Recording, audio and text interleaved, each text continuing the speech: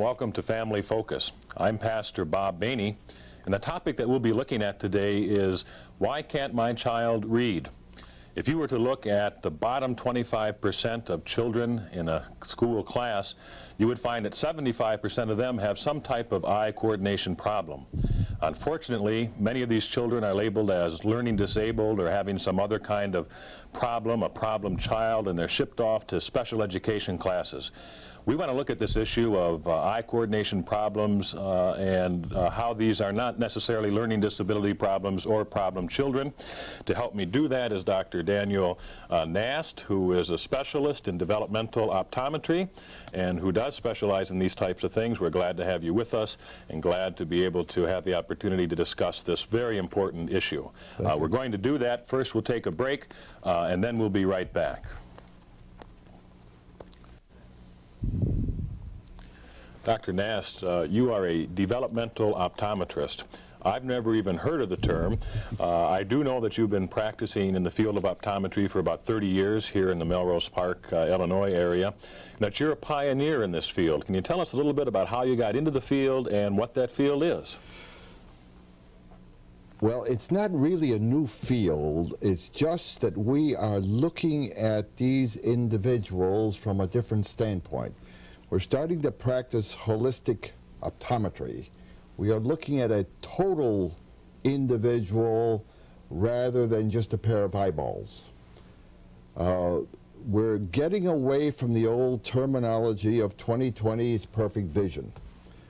Uh, 2020 never was perfect vision. There is no such thing as 2020 vision.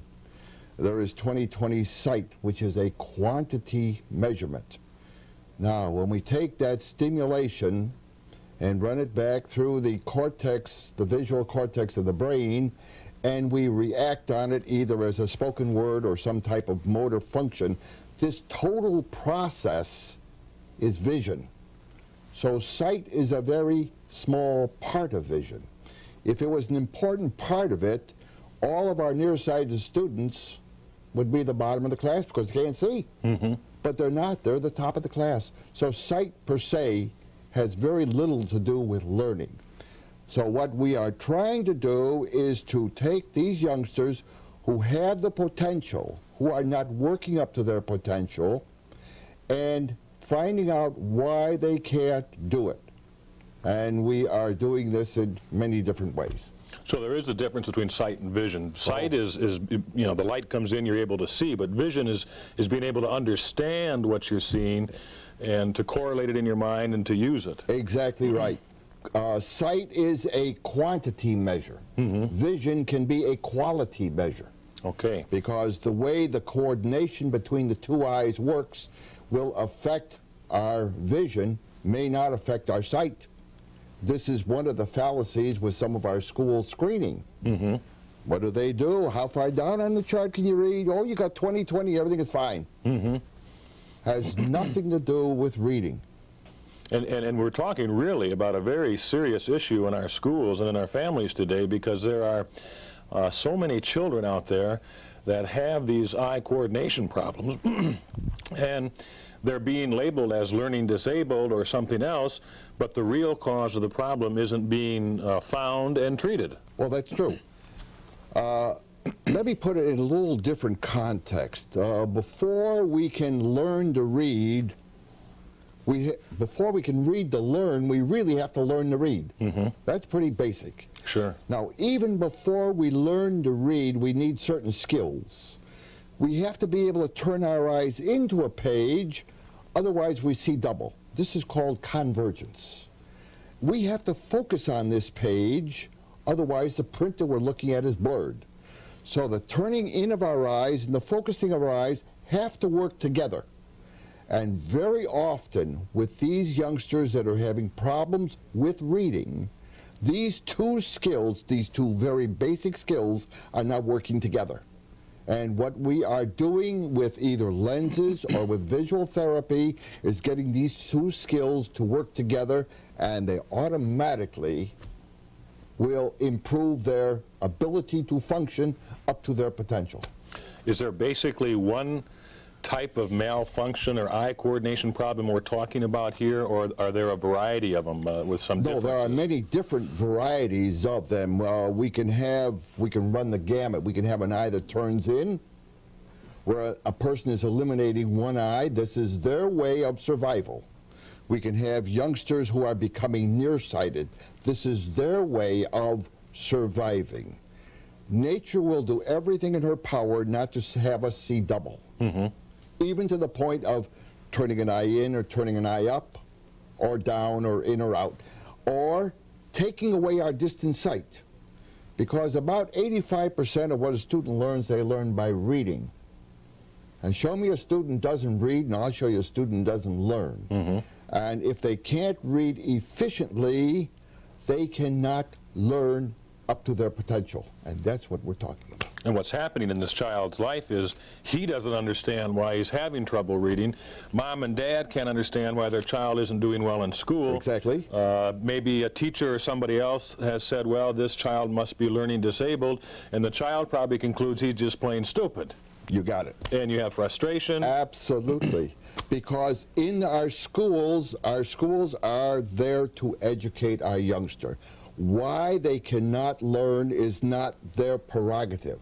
This is not what they're there for, to diagnose these things. Mm-hmm. They know that either a youngster is able to perform at grade level or he isn't.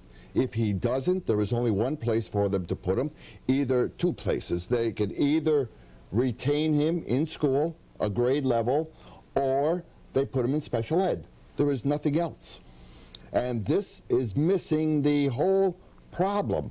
There are so many youngsters that are in special ed that really don't belong there, but there's no other place to put them. Well, the statistics that I got from some information that you had sent to us, uh, if you were to look at the 25%, the lowest 25% in the class, the reason there may very well be in that low 25% is because 75% of them are having some kind of eye coordination problem. Absolutely. And these, this has been documented through research at the university level. So we're, it's not just figures that we're picking out of thin air. But uh, this is what has gone on. And until we get into a better screening program in our schools, we're going to continue to foster this same type of program that uh, if they don't perform, then we put them in special ed. Uh, the diagnosis of hyperactivity, the daydreamer, all of these things are symptoms of something else not functioning. And, and, and the joy of the story is that you've shared with me, uh, as we talked in preparation for the program, that, that uh, so many times uh, someone like you has been able to take a f- child who's failing in school, who's frustrated, who can't read, who doesn't understand, and in three, four months, turn that whole situation around and have a child that's passing and maybe getting very good, excellent grades. Well, you know, it, it gets very emotional because unless you have lived with a youngster who is having this kind of a problem, you don't know what it's all about. Right. Uh, and I think that this is part of the problem with some of the doctors. They just haven't been close enough to it. My son is 31 now, and uh, when he was in first grade, he was diagnosed as a learning disability. Going back 25 years ago. Uh, fine, what is this? Well, here's a book, go home and read about it. And uh, it was very unsatisfactory because it told me nothing. No one had any answers as to what a learning disability was. So we, I started to go back into our literature in optometry, and back in the 1920s, this was all spelt out by some of our writers in those days. And starting to correlate it and starting to work with my son and the rest of the people that have had this kind of a problem, we have finally come with, with some of the answers. Not all of them. No one field has all the answers on learning disabilities. But we are to able to diagnose these youngsters that we can help. And it's amazing how some of these families have just been torn apart. Where do I go? Nobody gives me an answer. Nobody tells me what's wrong. And nobody helps. And nobody helps. They've We- gone to the neurologist, the psychologist, uh, the, their family physician. nobody looks the total youngster. Mm-hmm. And this is what we're trying to do, and this is why I said we're starting to practice holistic optometry. We've got some clips of some of the types of therapy that you use that uh, really almost miraculously turn these people around in just a couple of months. Why don't we pause and take a look at a couple of those and you can explain to us what's going on. Okay, we can do that, sure.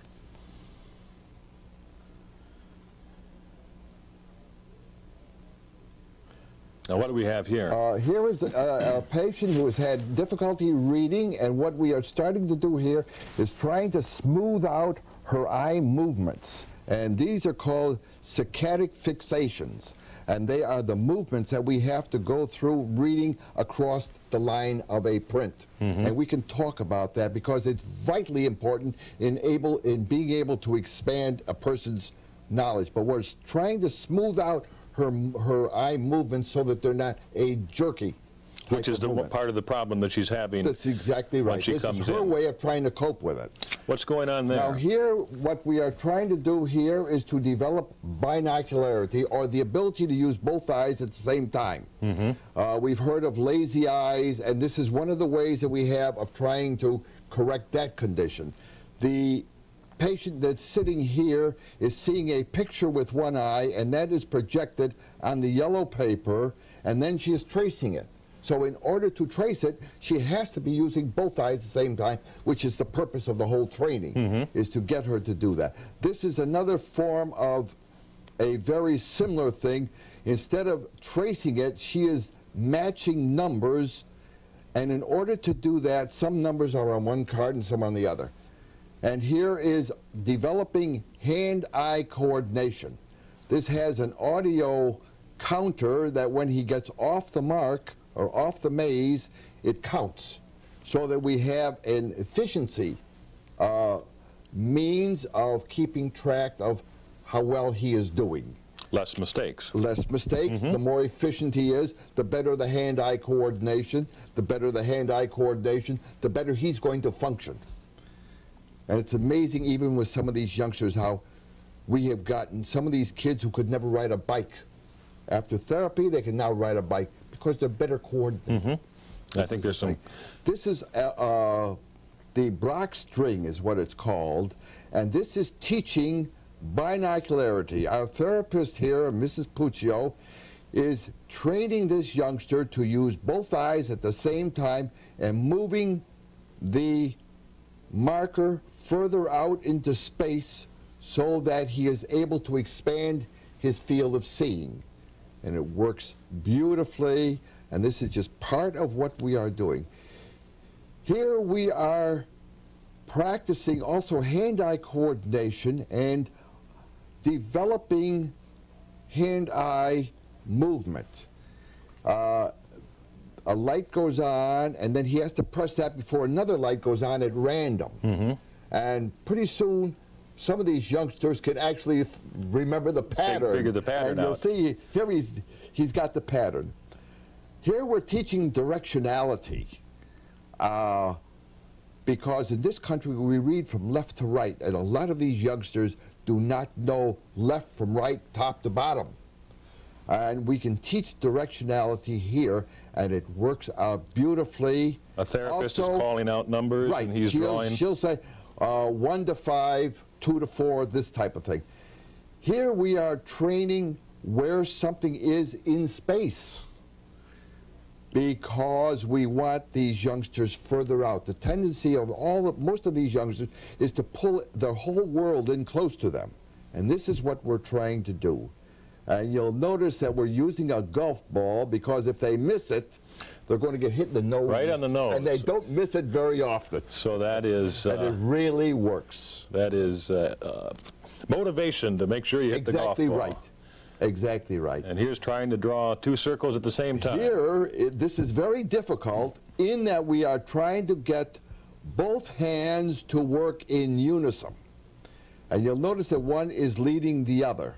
They should be both going the same time. There is also an auditory response here that when she gets off the black mark, there's it, a record. there's it. a record of it. Sure. So we can also see efficiency of this, and it's just amazing. These are the types of things that we can develop piecemeal and then we put it all together where we're ending up teaching visualization. Because if you can't visualize, you can't read. This is a walking beam. And here again we are developing body coordination. And if you cannot see where your feet are, you can't walk on a walking beam. You notice he's doing cross walking here. This is very difficult because he has to know where his feet are. Mm -hmm. And if he doesn't know where they are, Jan is there to grab him because he's going to fall flat sure, on his face. Sure, and he's doing that with his eyes closed. That's right, because I want him to visualize where his feet are. This is what, this is, again, we are teaching visualization. Mm -hmm. Because we know that if you can't visualize, you can't read efficiently. And this is exactly what we're trying to do. And I've had some of these youngsters where they cannot actually stand on a walking beam. Here we are again developing smoother eye movements. We're using a Marsden ball. There are letters on there, and he's trying to pick out letters. Now, if you talk about concentration, this takes a great deal of concentration all the way through. So his eyes would have to follow that ball around, in, working together, working. and then focus in in order to to see the numbers. Right. We, have got to take a break. That was very interesting, uh, and we'll uh, come back and talk more about this. Okay. We'll be back in just a moment. Dr. Nast, what, what I'd like to do now is look at uh, several more clips that show us some of the testing devices you use uh, when you're testing young children that, that come to you with these types of problems and that also show uh, some of the kinds of improvement that can be made over even six and seven weeks, mm -hmm. which is about half, uh, half of a program's length, if I understand. Well, we don't have any set program because each individual is an individual one one individual may we may be able to clear him up in uh, three weeks. Mm-hmm. Somebody mm -hmm. else may take three months. Mm -hmm. Depending on the severity of the case, somebody may take even longer than that. Sure. There is no set pattern, and we don't do the same thing with each individual. Okay, well, let's take a look okay. at, at what we do have here, and you can uh, explain to us what they are all about. One of the problems we have is explaining to the parent where the problem is. I can tell you that your son or daughter has a learning disability and their directionality is not right and their accommodation is faulty. What have I said? You said a lot of big words. Right, right. Yeah, it means nothing. Right. But this way, this is called the Van Orden uh, binocular pattern. It shows us the way both eyes are working. The top one will show that the right eye is coming to a point focus. The left eye, which is the other side, is almost parallel, which is an indication of not using one eye, suppressing the sight in one eye. Mm -hmm. Therefore, this is the groundwork that we have laid before we start. Now, as we go through therapy, we better darn well see an improvement in this condition. And is that what we're seeing here, now, the, the, the top one? one? The second, that's the top one. Mm -hmm. That's our starting That's the first point. one. Right. Halfway through our therapy, or thereabouts, after a period of three or four weeks or whatever it is, we will take another one to see if there is improvement. Mm -hmm. The second one starts to show us where the left eye is already starting to come in. It's coming to a point focus, which is what we're after, which means at this point, he is starting to use both eyes at the same time. The third one is the final one, then this is where we ended up. Mm -hmm. And this is, if I had seen the third one, at the same time I saw the first one, we never would have done therapy because they wouldn't have needed it. Right, right. So this is corrective work as much as anything else. Mm -hmm. We are trying to correct the condition. Once you correct it, we eliminate it, and he has no problem. Sure, and you can see the tremendous uh, improvement there. Yes. Let's take a look at the next one. This is a reading uh, this test? This is also a, this is a reading efficiency test. Mm -hmm. This also, now a parent can understand this. In the top, in the first one, he is reading the first three paragraphs on the left side in so many seconds and making so many mistakes. The next three paragraphs are the left eye, the next three paragraphs are the right eye, and the third one, or the fourth one, on the one on the right side, is both eyes again. Mm -hmm. Now, when we get all through, we better darn well see an improvement in his speed, and we better darn well see an improvement in his number of mistakes. In this particular test that, that we're looking at, too, as we looked at that ahead of time, you pointed out that uh, the pre-test, as he first came in for, for testing, there was, you know, it took him 120 seconds or something to read that, and there was 20-some mistakes. Right. And in the last one, when the program was completed, he read it in 115 seconds, and there was no, no mistakes. Now, a, a parent looking at this can say, I can understand. Mm-hmm. Now I can see where there is improvement in my son's reading efficiency. This is really what it's about. Sure. Because when we get all through therapy, if we haven't helped this youngster in school, we've wasted a lot it. of time. Sure. It wasn't worth it. Sure. Let's look at the at the last clip that we have. And I believe that this is a comparison uh, from the same student writing the same story. Right. And on the right-hand side is the way he wrote that story when he came in for treatment. And he is about halfway through his treatment program now, and he has just written the one on the left side. Right. And so you can see the improvement that has been made. Now, I must emphasize this. I don't teach writing. I don't teach reading in my Right. office. Right. All that I am doing is trying to give these youngsters the skills that they need so they can perform up to their potential in school. If I can give them these skills, the reading and the writing is going to improve by itself. Right. Okay. If I'm a if I'm a parent and I have a child and I've been told he's a problem child or she is or uh, that child has a learning disability, and I suspect or I want to make sure it's not an eye coordination problem, uh, where do I go? This I hear all the time. How do I know that the doctor that I am going to is the right doctor? The first thing that he has to do is to make a series of near point examinations. This is vitally important because these youngsters are using their eyes at their reading distance. What they see across the room is relatively unimportant. Mm-hmm. Second of all, will I know what the doctor is talking about? Can he explain it to me so I can understand? And any time a doctor cannot explain what he is doing and why he is doing it, there's something wrong. Will I get a written report from this doctor that I can understand? And will he see him again for a reevaluation? Now, there's a lot of doctors that will say, well, I don't do this, or I don't do that, or I don't do something else. Or they will say, yes, I do it, but when you boil it all down, how is it going to affect their ability to read and perform in school? This is really what it's all about.